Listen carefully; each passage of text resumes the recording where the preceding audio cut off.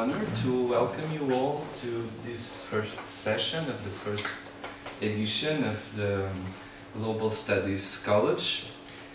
Uh, I'd like first of all to welcome very warmly uh, Professor Alessandro Stanziani, who is our first guest, and it is a great honor to have you uh, among us here at CES.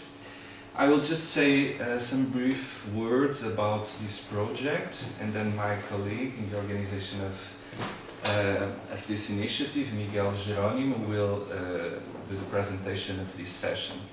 So the uh, Global Studies College is a project that we have been preparing for some time already um, with the objective, which has as objective um, to engage researchers in a critical reflection and discussion uh, in interaction with uh, invited leading scholars from uh, various parts of the world and um, with an international reputation and impact uh, on, on their respective fields. So uh, the idea is to cover a wide range of topics uh, that have been um, uh, interesting for uh, researchers. For example, this year we'll have this uh, extremely important topic of labor, the roles of labor. Uh, later on we'll have um, uh, for, for our second session as invited, uh, our invited scholar will be uh, Professor Syed Farid Alatas from the University of Singapore.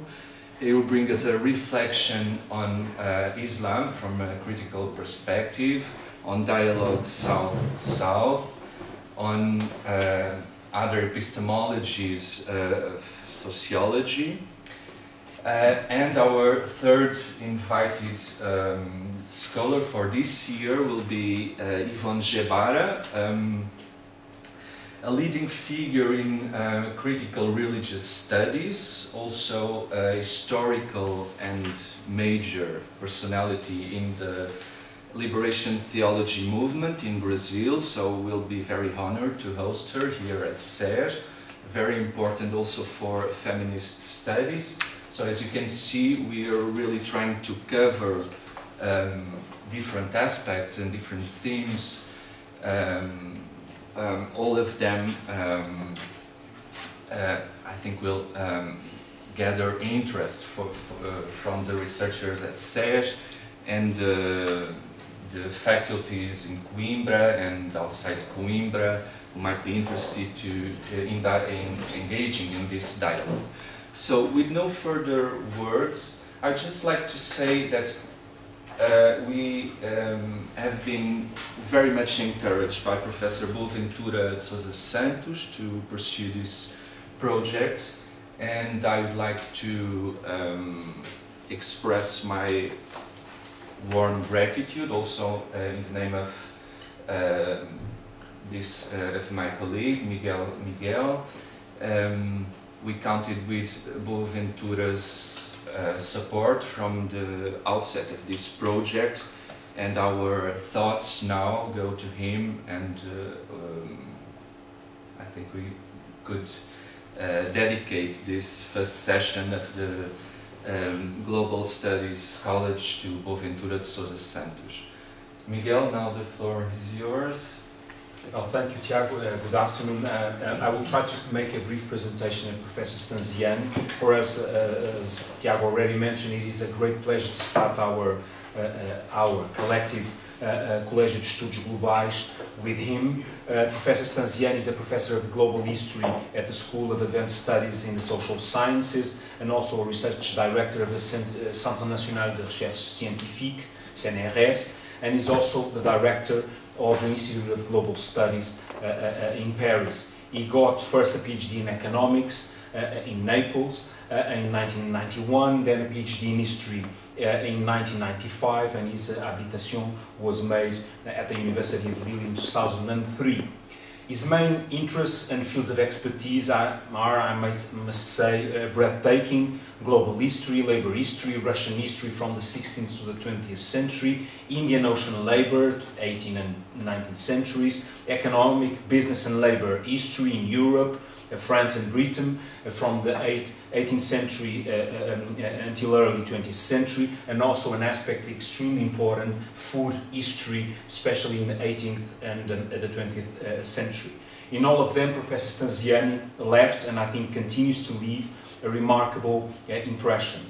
in all of them, he is one of the most authoritative voices. His publications, abundant publications, solidly support this fact. Here are, here are some, uh, just some contributions, and I will keep, uh, keep myself to the published books and edited volumes, uh, which are the majority of them uh, clear uh, major references uh, in the respective um, field.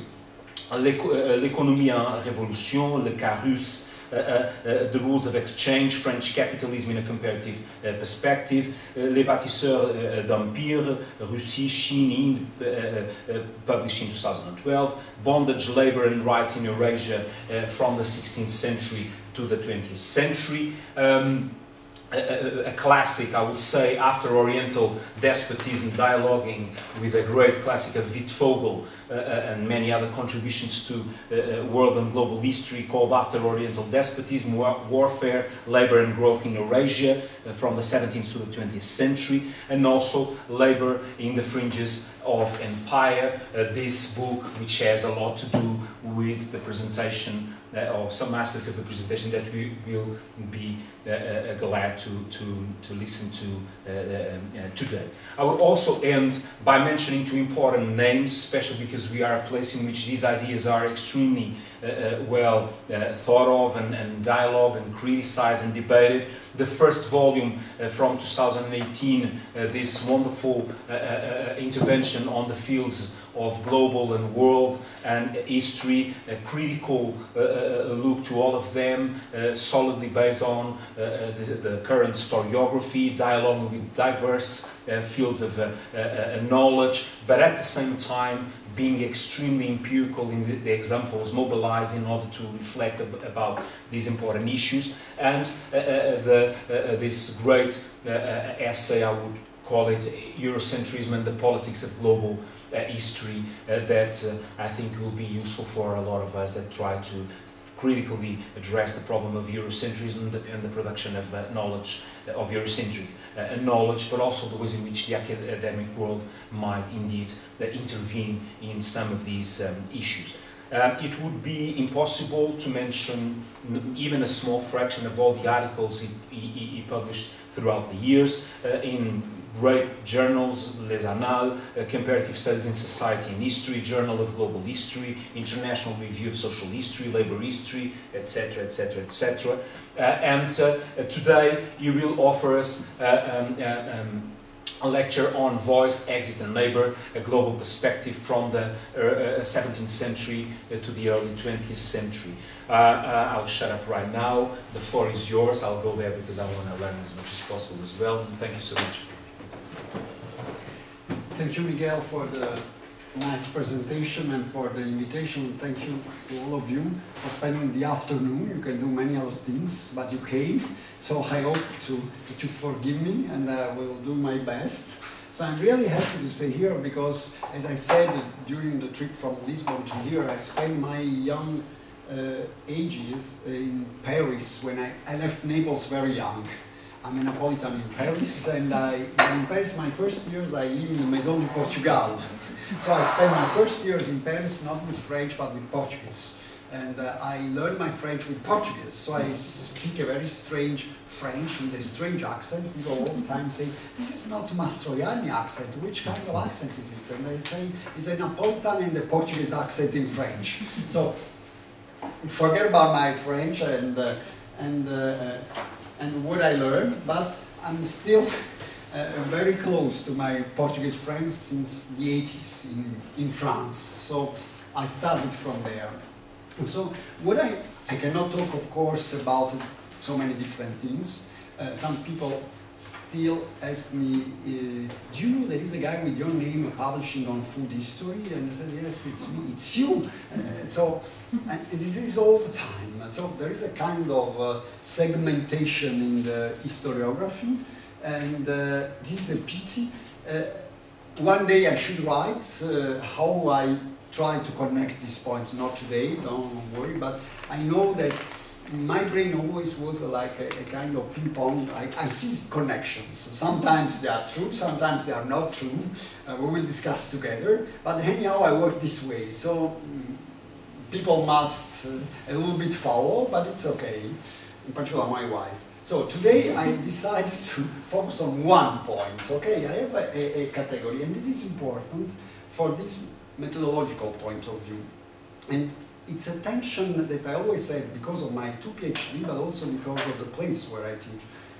It's how do we handle categories coming from social sciences, which in principle move beyond boundaries, uh, uh, and a knowledge of uh, area studies with their own local languages and categories it's always like this, as you know, if you can translate, uh, you know, uh, slave, we will say this in multiple languages, is it the same, not the same, and how I can cross. So, of course, you have uh, uh different options to answer this. One option is an, a so-called externalist uh, vision. You identify your category in a critical way, and after you test. Another way is to say how, as an historian, how the actors themselves used these categories and after try to see uh, how these categories move in time and uh, how they shaped hierarchies themselves. So my problem, for example, all the discussions about free and free labor, whether people are really free or not free, this is good for our uh, normative ambitions today. For history, it can be a little bit different, not to say that maybe unfree were free and free were unfree. Of course, it's not well cut, but too much relativism also kill relativism. So my problem is that actors themselves were not so rigid as sometimes we think, and they used uh, categories. We will see, for example, to say that in India there were real slaves, and others say there were not real slaves. But who says so? There were the East Indian companies say something, some local elites some, say something else. So it's not only scholars today in these debates, but actors themselves had similar debates and they used this category in context as a weapon. So my categories today is runaway, fugitive people. It's just to talk about runaways. Uh, people run away. And they, as I never uh, sure uh, uh about my language, because I move between languages, uh, even when I was a kid. I mean, in Naples we speak Napolitan and not Italian. So I'm not sure about what I'm talking about, okay? And, and so I was I always start with this. What does it mean uh, quality food for people at the time? So I was just surprised that the word runaways and fugitive was so widespread in many languages, in Russian, in English, in French, and so, but in many different places to talk about moving, uh, laboring people. So I just started why moving, laboring people are fugitives and not migrants, for example. Sometimes, you know, you have migrants after they become refugees, after they become something else. But for two, three centuries, I found all around an obsession with the runaways. And runaways even, we, we know runaways because of maroon slaves. This is the well-known runaways, fugitive slaves. And this, this is relatively simple because they say, okay, they are slaves and they are runaway. But why do they use runaways for many other people? Uh, apprentice, servants, uh, daily labor, they are all runaways. So something is wrong. So why runaways? So I started with, the, with the, uh, this uh, basic idea. So I have a, a basic uh, argument. Mm. In normal uh, historiography of social sciences of runaways, you have two categories. You have the maroon slaves and you have the soldiers. The conscripts, they are runaways. These are accepted by everybody. But what about all the others? So if we take all the other runaways, I think that we can discuss of the following. Uh, we have slaves, serf, indentured immigrant, and bonded person. Everybody is a runaway, can be a runaway. So, the first uh, answer is that it's a, a kind of uh, uh, Thompson story, E.P. Thompson story, that runaways and fugitives uh, are express resistance. I agree, and at the same time, is resistance to what? If we follow E.P. Thompson, it's resistance to what? To oppression, to coercion, or to the industrial world. Uh, the normal E.P. Thompson story. People go away because they resist the proletarization in industrial world and industrial discipline. This was the. I think this is true, but uh, to me, uh, runaways, uh, um, it's also expressed as something a little bit more troubling. Uh, because for Thompson, if you say that this is a resistance against something, you have a before and after. My argument is a little bit different, is that uh, runaways express uh, something which is not before and after. It's something which persists over three centuries and uh, three centuries and a half, at least, between the 17th century and the late 19th century. There are runaways everywhere. So it's not just the beginning of industrialization, it's also the first industrial revolution with the runaways. So the E.P. Thompson story is true, but it's not true at the same time. Something doesn't work is, is not only the industrial way. And so my idea is that the runaways everywhere, the global history of the runaways, is mm, it's a way of discussing the relationship between three things. The, the relationship between the economic order, the political inclusion, exclusion, I'm coming back in a moment on this, and third, the social stability. It's three different stories which are connected through the runaways. These are the categories. And the phenomenon which are related to this political stability and so on and so forth are first what is called modernization, to be critical. So it's the P. Thompson story. But it's modernization to me plus uh, imperial uh, uh, expansion plus the revolution, plus industrialization. So I have four uh, uh, processes behind the runaways, Okay, not just only the industrialization, but also the what is the colonial, the, the empire building. It's important to understand the runaways. And also the transformation of societies, which is not just the industry. There is something more. So, in order to understand what is the more, okay, I'll skip about my areas, so I will try to connect the different areas, starting from the easiest one uh, and moving into the less uh, easy to say runaways. So I start with uh, uh Russia, but after I move to Britain. So for Russia, it's relatively easy. You say, okay, you have serf, then runaways. So Russian case, it's easy. But actually, as I started with Russia, it's not easy, the Russian case. It's not easy because uh, this is Okay, uh, this is my archives, it's a picture, but it's okay. The Russian case is officially you have the introduction of serfdom in the 17th century, and the usual argument is that you introduce serfdom because Russia wants to answer to the development of the West, and instead of putting uh, technical innovation, they uh, use more coercion on local people, and they produce more wheat for the West. This is the Wallerstein and Kula argument. Okay? It doesn't work. It doesn't work for different reasons. Uh, if you take the runaways, you have many serfs moving around Russia under serfdom. Okay? So I start with runaways and say, why people move around? The first is that they move around and they are very hardly recovered. So why fugitive serf are so many fugitive serf and uh, nobody tries to keep them.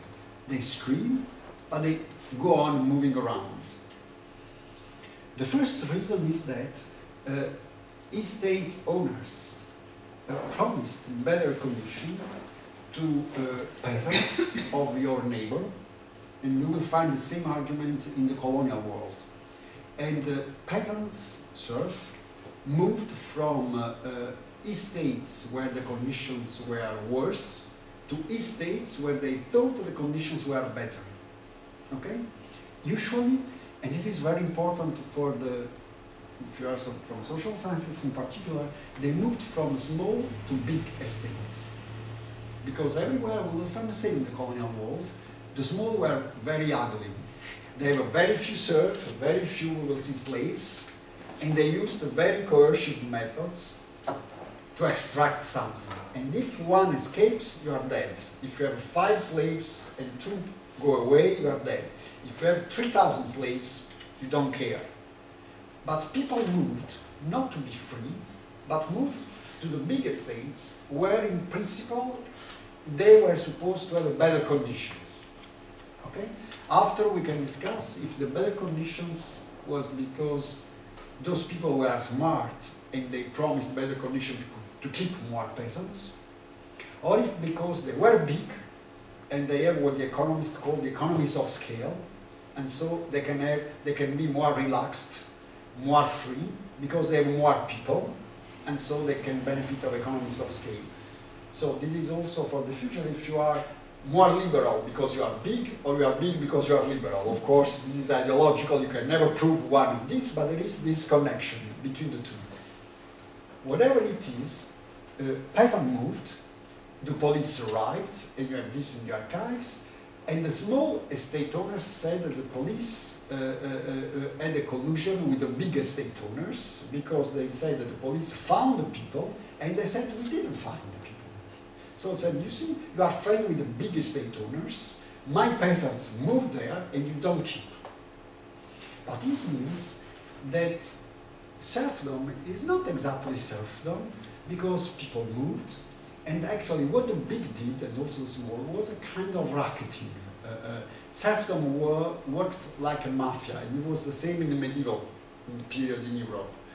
You have a long list of interdictions, okay?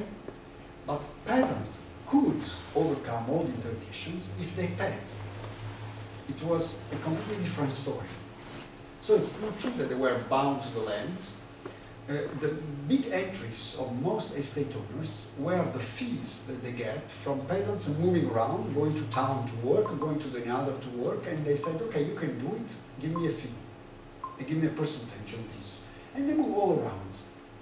Okay? So the first reason was what the uh, estate owners call the um, unfair competition, and we will find the same argument in Britain as well, the, or in France, the débauchage was the obsession. You take my workers. Okay? So the first reason was this mobility between and the unfair competition between the estate owners. It was a whole, I mean, it was a coercive system, but with the limits. As they wanted labor, they were ready to keep labor from the others. They didn't respect the rules themselves, and said, "I'm the biggest. What do you want?" So, and in this whole, people moved. They were not free. They were not stable serf. They moved inside the system. You can say free and free is not a problem, but they moved this way. The second reason, the second reason, reason why they moved was colonialism, the uh, Russian imperial expansion. If you occupy the steppe, you need people over there. And you want to put Russian people there. How do you put Russian people if they are serf in the middle of Russia? So, fugitive peasants said, they promised land for us. They moved. Local authorities, what I found in archives, we found a lot of peasants apparently are from Petrograd, are from this region, from the region. What do we do? The local authorities said, no, no, no. You, you send a couple of them, all the others stay. We need them for the steppe. So, the second reason, and they have to negotiate the uh, authorities, is not by chance that the big estate owners and also small estate owners on the center of Russia were against the colonial expansion because they said, you keep my peasants. Either officially, because of uh, military recruitment, they took peasants and they put in the steppe, and the people in the center of Russia say, it's my peasants, you take for colonization, what I do? Other people were runaways, and they were never recovered. But so, it means that the, the uh, official ideal type of uh, serfdom doesn't match with the Russian expansion. You cannot, you cannot have the two. So you must have a flexible serfdom to have Russian colonialism, otherwise it doesn't work. And so you have a few people in Russia, but spreading around with the benediction of the state and with the help of the state, and after saying, we didn't find. So, two important reasons. So, an unfair competition for runaways, and the other was colonial expansion. Okay? There is another uh, reason, this is very important. This means that the Russian expansion in the frontier is completely different than the uh, British or French or Portuguese. I'm going to explain. It's not the Turner frontier, it doesn't work, doesn't work at all, the Turner frontier for Russia. It's something very different. The difference is that people on the frontier had much less constraints than people in the core in Russia. Peasants who accepted to move to the frontier, they had the status of state peasants, not private peasants, which means that they were entitled to have the land. They were kind of peasant soldiers. They were there, they were official soldiers, but they were also free peasants, and they had the land. Now, the American way before the end of the 19th century when we have the official image of the frontier and freedom, before the date was the other way around. People on the frontier were what? Uh, white indentured, I'm coming back in a moment, and slaves. Which means that in Britain as in France, the condition in the core were far better than condition on the frontier. Okay, when the east part of the Eurasia, as I call it, Britain and France are still Eurasia, but are the east part, moved through the Atlantic. They moved what? Convicts, prisoners, soldiers, indentured, and after slaves. So people were in worse condition than working people in Britain. the Russians did the other way around. They have more coercion on the core, despite this informal uh, circulation, and less coercion on the frontier. Okay, so it was a completely different approach to the, so the meaning of runaways was completely different, but not because of the ideal type of serfdom against the freedom. Okay, the runaways of Russia were more free than the runaways of the West at that time, for these reasons. Okay, why? Why is it so? The first reason for the West is the connection between, again, the military and the labor market. Okay? As I said, these runaways are categories used for slave, serf, and military. The fugitive are, first of all, the deserters. The use, the using of the word deserter. Why a, a, a laboring guy is a deserter? But the, the word was used. And it was used because as in the Russian frontier, the West itself uh, overlapped the uh, um, mitigation. Okay, this is uh, what they overlapped the military and the labor market. So to me, it's important that for, in particular, the 16th, 17th century, the overlapping of the two markets, it's absolutely crucial uh, in both sides of Eurasia. Okay, the Russians did it, the Chinese did it, they occupied the steppe with the military and peasant soldiers. These are the so-called land empires. Okay. Now, in the historiography and political sciences, you have this opposition between the land empires and the maritime empires. Land empires are Wittfogel and the despotism, and the maritime empires are the future, the progress and modernity, Britain. It's not true. Uh, first, because the land empires in the frontier used the less coercion. The maritime empire used not, of course, the peasant soldiers, but they used the, the seamen, seamen, colonizers, slash slaves.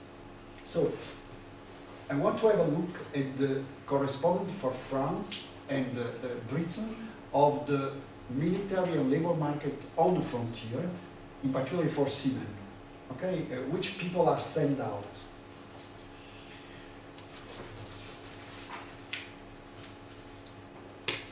Now, the first start with France. In, in France, you have a, a very slow decline of the galleys. Officially, the galleys uh, disappear with the 17th century. Actually, they go on in the 18th century, and after they are transformed into convicts from uh, Dunkirk, from any other places. You have prisoners put on the boats. So they still use during the 18th century this attitude. The second form of recruitment in France was an imitation of uh, uh, um, Britain, the press. In other words, you go into local towns along the sea and you keep everybody move, moves around. So it's a kind of forced recruitment against local uh, communities of fishermen and so on and so forth. So you have a, a kind of forced uh, recruitment. If you have a forced recruitment, you have a lot of deserters among seamen in France. They were recruited under coercion and they escaped. The rate of desertion, even in the, uh, not only in the royal uh, navy, but also in the um, commercial navy, was extremely high for different reasons. The first, the first is that uh, some of the people were recruited by uh, coercion. The second reason is that when you develop the long distance uh, uh, uh, fisheries, you know, in the far north, is no more the sardine along the coast, it's far. It's the famous stories of the bacalhau, you must go far north. But this means that is no more the traditional fishermen of the coast. It's completely different people spending months away. They change technically the ships and they start recruiting uh, uh, people who are called by real marin pêcheurs, by real fishermen, they are called matelots because they are kind of people without skills, but they are good for la morue, again, very far. Who are those people? Those people are occasionally people from the, the, the countryside that during the dead season or during bad years decide to move to the coast to find a job. And they are sent away for six months, seven months. It's a completely different kind of uh, recruitment. But those people, again, are not happy of having a longer contract of two, three years when you have the wheels and so on, so the Moby Dick stories. It's again a different uh, form of coercion over years. And so the long-term uh, distance uh, fishermen introduce something new. And the other story is the coexistence in the same boats of uh, more or less white people forcibly recruited and slaves. Uh, when these boats go away from the coast of France or Britain, they recruit laptots in Africa or Indian sailors. They recruit. They keep by strength local uh, uh, fishermen. They put on board, and after they throw out on boat before coming back to Europe. So there is a forced recruitment of slaves or fishermen treated as slaves and after sold out before coming back. So for France, it's extremely strong. And for Britain, it's even worse because they use the press on a massive scale. So the press is extremely important in Britain and it's used by private and by public. So all of them, including the East Indian Company, they use the press, which means forced recruitment uh, in different uh, uh, localities. Of course, this creates a lot of problems, and create a lot of problems first from a legal point of view, because from many uh, uh, local communities, they say this is against the Magna Carta. You cannot just keep people in the street and put on a boat. The answer of justice was that the Magna Carta doesn't apply when the national security is involved, and the, the name is national security.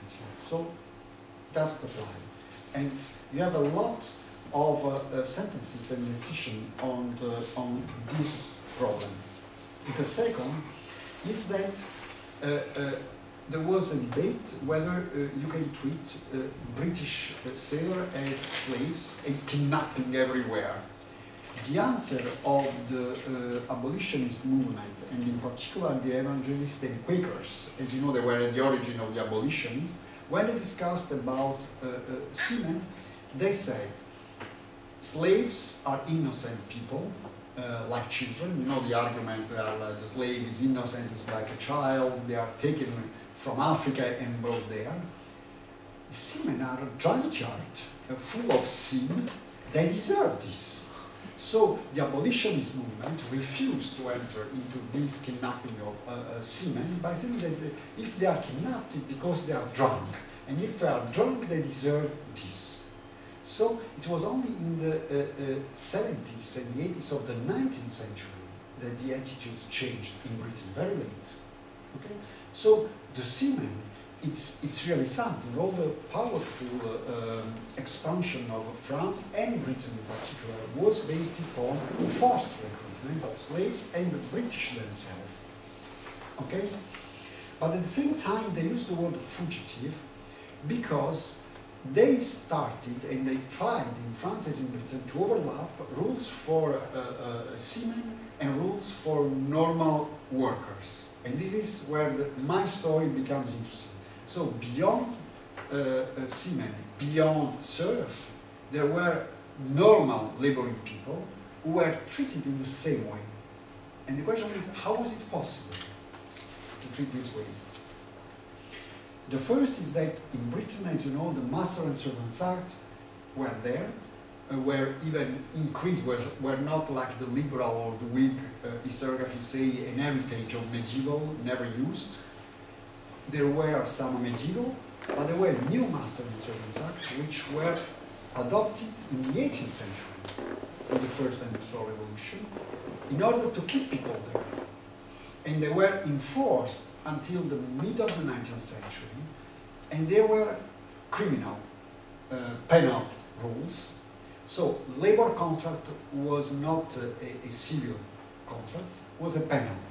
Penal means that if you move without the authorization of the master, you are under criminal penalties, and you are a runaway and a deserter.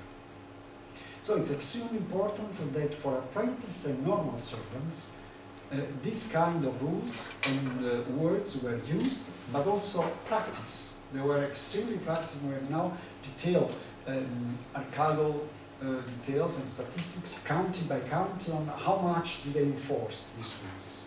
And they enforce the rule, they have no problem. And they have problems with the two store. Why they need this? Why a servant had to stay there? Always I say it's a kind of like a, a, a a kind of, uh, uh, you know, the ideal marriage of macho people. You must stay here when I like, and you must go away when I don't like. For masters of the time, was exactly the same. I need labor when I need, and I kick you off when I don't need you. Okay? So, you say this is an ideal world, but it worked because rules were adopted and enforced along this way. You have no real voice from laboring people, including Britain, despite the, um, the glorious revolution. You have no rights for people, but you have a lot of rights for masters. Non-employers, they are called masters. The word employers is very late. You will see it's the, it's the turn of the 19th, 20th century. Before there were masters and servants, not workers, wage earners, and employers. They were called different because they were masters with strongly unequal rights. So I disagree with people who criticize the liberal attitude by saying there is a, a, a formal equality and, and, social inequality in front of the law. I disagree because inequality was already in the law. It's not true that there was equality in front of the law. The master and servants was not the contract, there was a status. They have a legal status which was different. We know the different legal status for slaves, they have no rights, they are no persons. But the servants have a, have a different legal status than the masters. They cannot sue, they cannot, they have very few rights and many obligations. And this was by status, not by contract. So it was extremely important. And the question is, why, why so? my answer, I'm not uh, making so many, uh, uh, I'm not entering into uh, these details, but my answer is that actually we should use the so-called revisionist approach to the Industrial Revolution. The first Industrial Revolution was labor intensive, okay? It's not true what Marx and many others say, more capital. This is the second one. The first re requested more labor, not less labor. Everybody wanted labor. Proto industry wanted labor, the manufacturer was the enlarged manufacturer. Of course, you have all the chartists screaming against machines. But this is like today, you know, on the internet, it's because you have the novelty and people scream against. After you see how many machines there are in Britain until the mid-19th century, very few, even in textile. Everybody wanted labor and wanted labor there. So everybody screams against everybody to say, you kept my workers. And there were continuous lawsuits and tensions between masters. To say, you kept my workers, you have not the right. They are my workers. They are servants and they are sued by penalties. And it was all the time like this. So it's very important to say that it's not only slavery or the plantations or Russia, but even Britain, even more France, were labor intensive. So there were several reasons for coercion and runaways. Runaways is because you have a very small voice. But why do you have runaways and coercion? You have runaways and coercion. First, because everybody wants labor, and this is what the economists would say.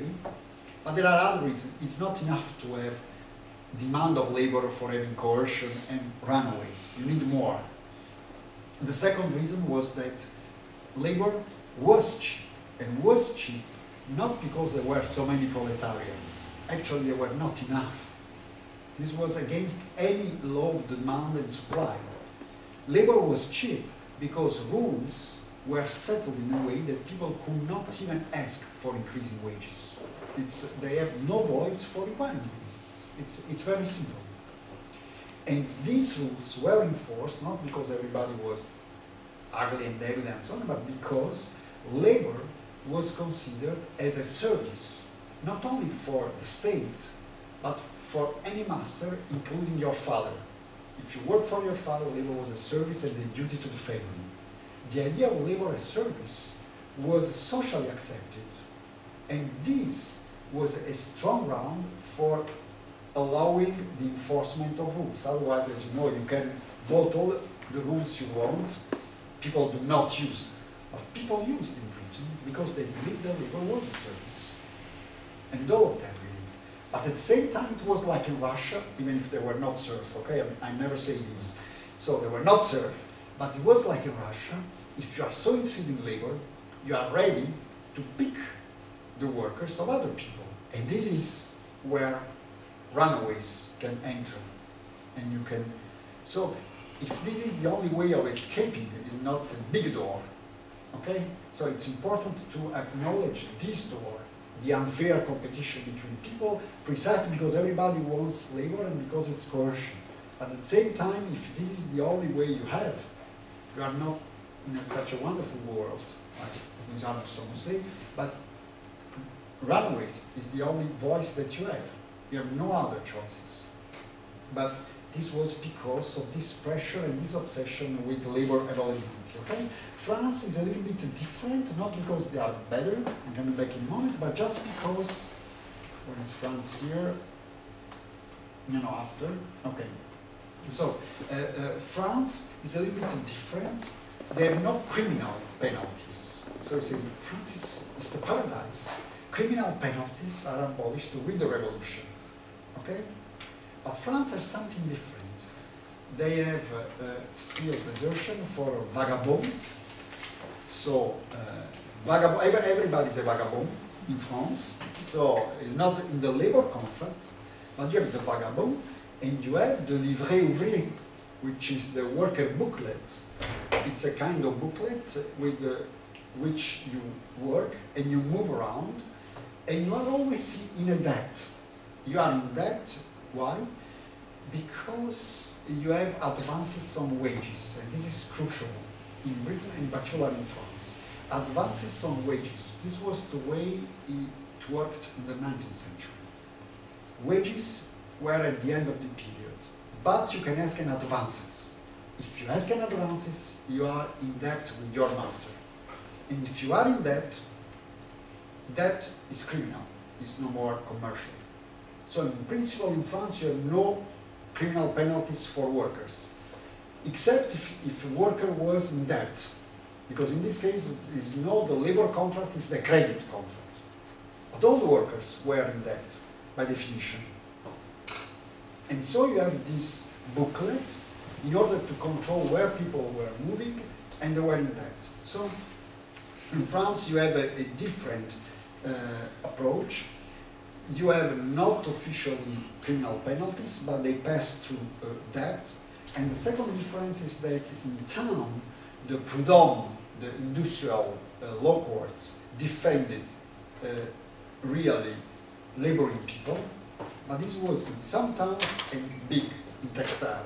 In the countryside, they were without the protection of prud'homme. So in Britain, everybody was under the master and servants. In France, you have a big division between the countryside and some town, okay, in terms of defense and voice of labor. So some workers, before the acknowledgement of trade unions, were really defended by prud'homme, but not the others. So it's an important division in France between the two. So what I'm trying to show is that uh, for a long time, uh, the colonial rules were inspired by mainland rules. So it's not true that it was the uh, pure freedom on one end and the pure freedom on the other end. Uh, what the French and the British did was to expand the uh, uh, uh, mainland rules to the colonies, but in an extreme way. Before slavery, they used the indenture. And indentured labor, you know, you, someone pay for your trip, and in exchange you work seven years with no wages, and you can be sold and transferred. Of course, if you have some debts, during seven years, the debt will be longer and longer. And this was for white. So the 17th century was full of those people. And when they invented them, both sides, France and Britain, indentured contracts, or they said we mix two kinds of contracts. The seaman, because of the long-term service, and the journalier, or the daily laborer in the countryside, because they must go there and défricher the land, and prepare the land, and clear the lands. So the invention of the contract of the indenture, they were only written contracts, was a mixing of my stories, which means the fisherman and the daily laborer in the countryside. And this was the indenture. Okay? And indenture was the idea of freedom before and after slavery. When the French and the British say what we have after slavery, we have indenture. This is free. It's very important because today people say this is not free labor. Probably not, but this is not my point. My point is that for the actors of the time, the indenture was considered a free contract because it was opposed to slavery. Okay? It became, for the actors themselves, an unfree contract only after the abolition of slavery when the abolitionist movement said, okay, we're no more slaves, are the indentured really free? No, they are not free. But so there was a shift in what freedom meant for the actors themselves. Okay? In order to identify indentured as an unfree, you must first abolish slavery. Under slavery, the indentured was the example of freedom. Okay, after you can decide for you so happy to move for seven years without paying, but for them it was the idea of freedom because you choose. It's the idea of free will. Okay? You as a choose to move there. He signed a contract, free will, free contract, freedom. Okay? It's extremely important. This English idea of what freedom was. It's a completely different, uh, that's what idea of liberty. And I insist on this because people say there is a contradiction uh, in this abolitionist movement. Look at Thomas Jefferson. He spoke on universal rights and he had slaves. And Thomas Jefferson said, why am contradictory? I, don't- I don't see. First of all, those people, I'm not sure they are human beings. And we have huge debates about this. Uh, I have friends working on the orangutan in the 18th century. It's not a joke, it's a real problem. Where is the boundary, the human and the animal, and when do you put the Negro inside this? If they're not a soul, they are no slaves. So the first is the color and the, and the soul. No soul, no slaves. And the second is that precisely, you see, I don't see. For me, freedom is liberty. Liberty of freedom, li- liberty of trade. So the US independence is about liberty, not freedom. Uh, we want free trade and not pay custom to Britain. We are free, but free as liberty. This is Locke. It's uh, nothing to do with slavery, nothing. And it's perfectly compatible with slavery. So I don't like the word contradiction because it's our world. In their world, there was no contradiction. They were for liberty. So it's important, I see that even today for the Americans, you can speak of liberty, universal liberty, and put Peones and all the others in prison because they don't see any contradiction. In the Lockean approach, it was perfectly coherent to have slaves and liberty. It's not for everybody, that story. So it's, uh, it's important to make this distinction. Okay? So this world changed. I'm going to finish, otherwise we have no discussion. Changed uh, uh, uh, with the great transformation of labor uh, at the end of the 19th century. So where the world made of runaways everywhere because coercion was extremely important. Why this world collapsed? Collapsed for, at least in Europe, for some simultaneous reason. The first is that politically you have more unions, more rights, more political voice for working people. More political voice and increasing wages meant also new rules on labor. And you have the end of the Master and Servants Act. In France was the end of the Louage d'ouvrage et de service. In Germany was the same. And something new was invented, which is was called the contrat de travail, the labor contract, as we know today. Was an invention of the end of the 19th century with formally equal rights on the two sides, no more obligation and labor as service, no more time sold to my master, and also the legal acknowledgement of trade unions. So it means more voice for working people. So they became no more, there were no more servants, they were wage earners, a, a different story, with protection and the first welfare. This was also so because of the entering of the state and the first welfare. But third was, of course, the second industrial revolution. With the second industrial revolution, you have more capital and less labor. So the pressure on labor is much less than under the first industrial revolution. So it's another world. And it changes simultaneously.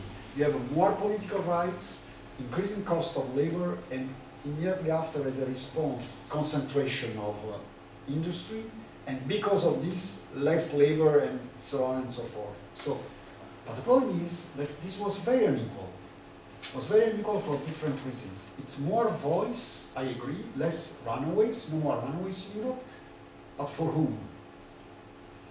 The welfare was not universal before 45 uh, and even after 45 with women and so on. But anyhow, at the turn of the century, the first welfare in Britain, as in France, was for some workers of unionized workers of some industries. All the others were out. No universal welfare. Some industries. Second, completely excluded all the artisans, the small units, the women, and the countryside. Peasants, no works, no welfare.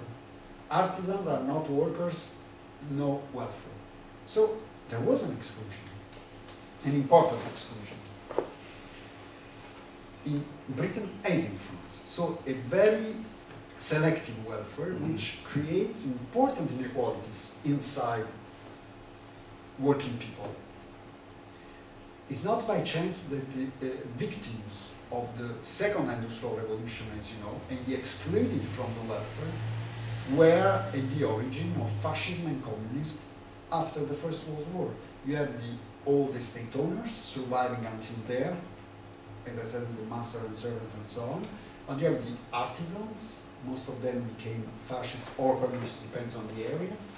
You have the excluded peasants. So this is the 20th century. So my idea is that because of this very late transformation of the world, is not the end of the 18th century or beginning of the 19th century. I'm very close to Arno Mayer for very old people here. Arno Mayer said that the old regime in Europe finished with the First World War. I agree. There were aristocracies all the time, and there was an agreement between aristocracies and capitalism until the First World War. It was only after that that it broke. But so it means that in this way you can better explain all the fascism and communism in Europe because it was very late, the explosion.